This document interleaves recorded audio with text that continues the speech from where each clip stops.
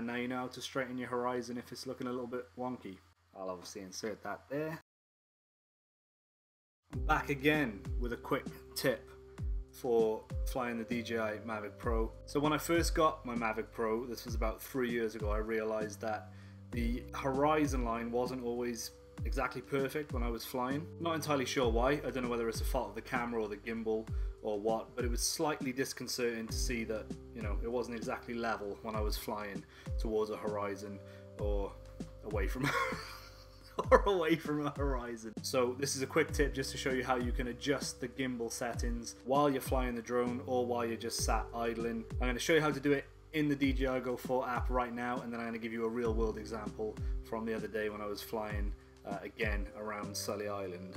So here's what we want to do. I've set up my DJI Mavic Pro so it's facing a mirror so you can see the difference that difference that this makes when you roll the gimbal to adjust the horizon. So what you want to do when you're in the DJI Go 4 app, press the three dots in the top right hand corner and go to the gimbal settings and click adjust gimbal.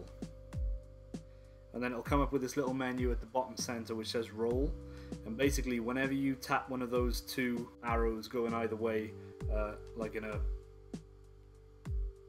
swishy motion that'll tilt the horizon in that way. So if I tap the right hand arrow a few times you can see that the background is starting to move.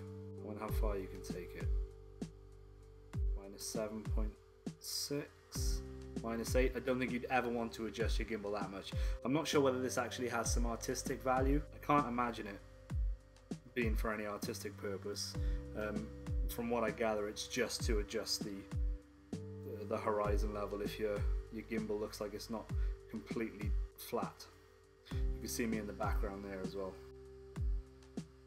Um, so if I tap it the other way, you'll see that the horizon starts to go the other way and it'll tilt that way instead. I'll set it back to zero and tap complete. And yeah, that's how you can adjust the gimbal in flight if your horizon's not quite right.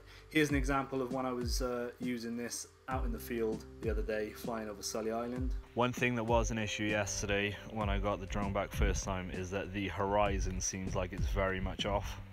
So I'm going to do now while the drone's in the air and I'm looking over at the horizon is go into the gimbal settings and press adjust gimbal.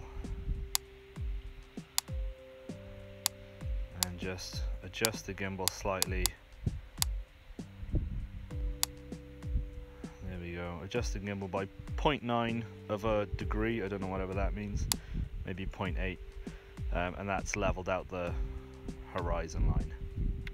Press complete and away we go I'll obviously insert that there. Again, thank you for watching. This has been a quick tip from an amateur drone pilot. Please, I am trying to grow this channel. If you would consider liking, sharing and subscribing, it would help me out greatly. I'm trying to reach that 1000 subscriber magic number and if you can help me in getting there, I'd be more than grateful. Be safe while flying your drone, have a good time with it, and now you know how to straighten your horizon if it's looking a little bit wonky. Have a great week.